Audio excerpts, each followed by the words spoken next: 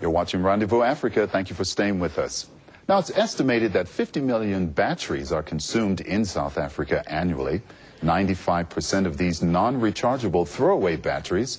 This represents 2,500 tons of batteries that are disposed into landfills every year and eventually corrode and degrade, exposing harmful chemicals to the environment.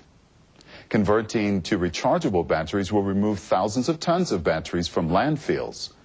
Uniross, a rechargeable special, specialty company that manages the recycling of batteries, has collaborated with the group Pick n Pay, the retail company, to launch a battery-safe disposable and recycling program.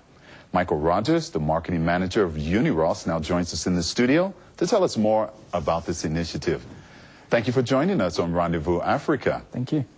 Just tell us about um, safety disposable batteries and the recycling thereof. Sure. Well, David, what we do is, uh, as, as you mentioned, the retail giants like uh, Pick n Pay have been kind enough to, to give us space on their, on their retail floor to set up uh, collection sites um, where we're trying to encourage consumers to, to bring in their old batteries and to deposit them into these recycle bins instead of throwing them into their, their household waste and their, their rubbish bins. Um, after which we then collect them, take them back to a facility in Johannesburg where we sort them and uh, store them until we've got sufficient quantities to ship back to, to France for recycling. Unfortunately, there's no recycling facility here in South Africa, so we have to do something, um, and it's a responsibility that we've decided needs to fall on our shoulders. Interesting. You say that there's no facility in South Africa, and yet the amount of batteries that are used in the country looks like a, a, a major opportunity for uh, empowerment and job opportunities. Absolutely. You know, the problem is that, as you mentioned earlier, the majority of those batteries that are consumed are on non-rechargeable batteries. And unfortunately, the, the yield when you try to recycle a non-rechargeable battery, it's not economically viable um, to recycle. So unfortunately, that is the reason that uh, there's no recycling facility set up in, in South Africa. In fact, in most countries around the world, they don't, uh, they don't recycle uh, non-rechargeable batteries. You know, when you say the word recycling, people normally think of paper and plastics and these other things. Why recycling of batteries? Well, uh, if you can, you can imagine if just in South Africa alone, it's estimated 50 million batteries. That, that's a lot of batteries that are going into our landfills.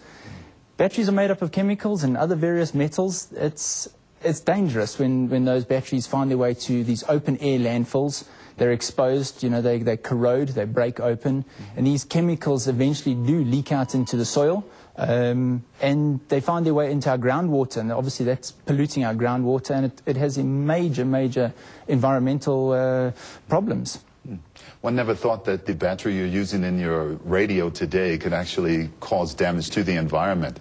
Um, you know, when you collect these batteries, just take us through the process of how you take use re recyclable uh, batteries and then convert them. Just take us through that process. Well, what, what happens is obviously the, the process is, as I explained earlier, the collection of it takes it through. We, we sort uh, the various chemistries because there are different types of batteries mm -hmm. and we understand we're not trying to ask the consumer to make that decision.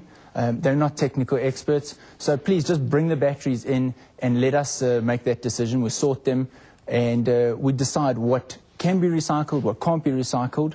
Unfortunately, the ones that can't be recycled, the best that we can do to, at this stage anyway, to try and protect our, our environment, mm -hmm. is um, we send them through to, to some uh, waste management companies, mm -hmm. and they block them in concrete blocks before dumping them into, into landfills. And this obviously prevents them from breaking open and leaking and spilling their, their chemicals into to the environment. Then the, uh, the ones that can be recycled are obviously sent, as I said, sent back to a recycling facility in France, where they recover the, the metals, um, the precious metals and, and other chemicals that can be reused. Um, and those, uh, those recovered byproducts can be used again to manufacture new products. Now, you know, as a consumer myself, I, I, go to the store and I'm looking for a battery. I don't always look for a, a, rechargeable battery. I just pick up a battery or a name that I'm familiar with or a brand that I'm familiar with. How is Uniross looking at converting consumers to be aware about the use of recycled uh, batteries? Well, what, we, what we're trying to do is we're trying to educate consumers because I, I believe it, it really is an educational issue. Um, everyone knows rechargeable batteries in their cell phones or in their laptops, but they don't understand, as you've just said, they don't understand that rechargeable batteries come in the same format as a, a, a normal pen-like battery that you would use in a clock or a, or a TV remote. Mm. Um, so we're really trying to get that, that message across in store through, through some of our uh, point of sale, um, through promotions. We try to, to get promoters in there, just trying to educate consumers as they're coming into shop, um, trying to convert them. You know, mm -hmm. if, if we can just convert one person a day, um, we'll, we'll be winning, winning the battle. Now, you've mentioned that you've uh, uh, collaborated with the uh, national uh, food chain, Pick n Pay. Yes. Just tell us about that association again. Just elaborate on that a little well, bit. Well, obviously, Pick n Pay is, they've always been fantastic when it comes to, to environmental issues and social issues. Um, and when we approached them with this, uh, this recycling initiative, they, they jumped at it and they said absolutely they would love to be on board.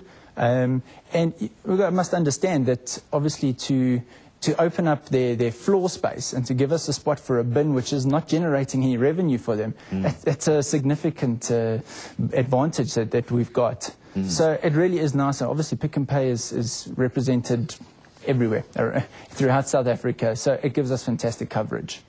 And then, um, what are the major outcomes that you're anticipating from this initiative?